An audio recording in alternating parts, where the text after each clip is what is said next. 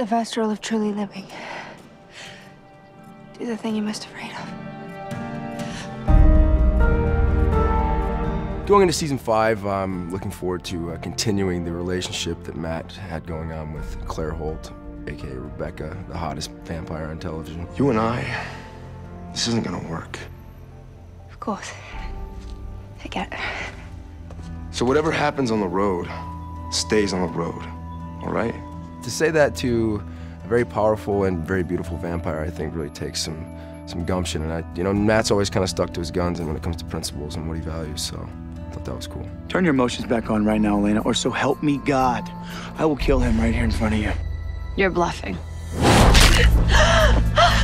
Last season, uh, one thing that really sticks out to me was uh, when I was given the, the life ring. I guess it was a good idea that he was wearing this. It was Matt's first chance to kind of enter the world of the supernatural.